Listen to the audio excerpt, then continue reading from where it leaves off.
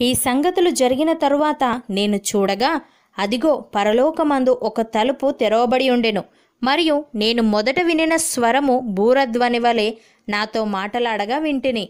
ఆ మాటలాడినవాడు ఇక్కడికి ఎక్కిరమ్ము. ఇక మీదట జరగవలసిన వాటిని నీకు కనుపరచెదన నేను వెంటనే నేను ఆత్మవశుడనైతిని అదిగో పరలోకమందు ఒక సింహాసనము వేయబడి ఉండెను. సింహాసనమునందు ఒకడు ఆసీనుడై ఉండెను ఆసీనుడైన వాడు దృష్టికి సూర్యకాంత పద్మ రాగములను పోలినవాడు. మరకతము వలె ప్రకాశించు ఇంద్రధనస్సు సింహాసనమును ఆవరించి ఉండెను సింహాసనము చుట్టూ ఇరవై నాలుగు సింహాసనములుండెను. ఈ సింహాసనములందు ఇరవై నలుగురు పెద్దలు తెల్లని వస్త్రములు ధరించుకొని తమ తలల మీద సువర్ణ కిరీటములు పెట్టుకున్న వారై కూర్చుండిరి. ఆ సింహాసనములో నుండి మెరుపులను ధ్వనులను ఉరుములను బయలుదేరుచున్నవి. మరియు ఆ సింహాసనం ఎదుట ఏడు దీపములు ప్రజ్వలించుచున్నవి. అవి దేవుని ఏడు ఆత్మలు. మరియు ఆ సింహాసనం ఎదుట స్ఫటికమును పోలిన గాజు వంటి సముద్రం ఉన్నట్టు ఉండెను. ఆ సింహాసనమునకు మధ్యను సింహాసనము చుట్టూను ముందు వెనక కన్నులతో నిండిన నాలుగు జీవులుండెను.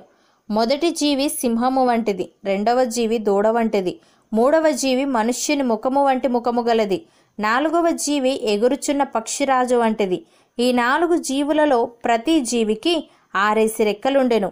అవి చుట్టూను రెక్కల లోపటను కన్నులతో నిండి ఉన్నవి అవి భూత వర్తమాన భవిష్యత్ కాలములలో ఉండు సర్వాధికారియు దేవుడు నగు ప్రభువు పరిశుద్ధుడు పరిశుద్ధుడు పరిశుద్ధుడు అని మానక రాత్రింబగలు చెప్పుచుండును.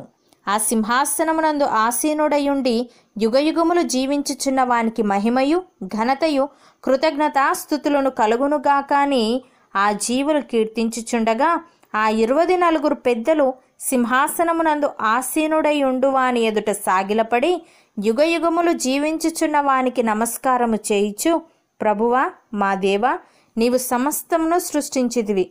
నీ చిత్తమును బట్టి అవి ఉండెను. దానిని బట్టియే సృష్టింపబడెను గనుక నీవే మహిమ ఘనత ప్రభావములు పొందనర్హుడవని చెప్పుచు తమ కిరీటములను ఆ సింహాసనం ఎదుట వేసిరి.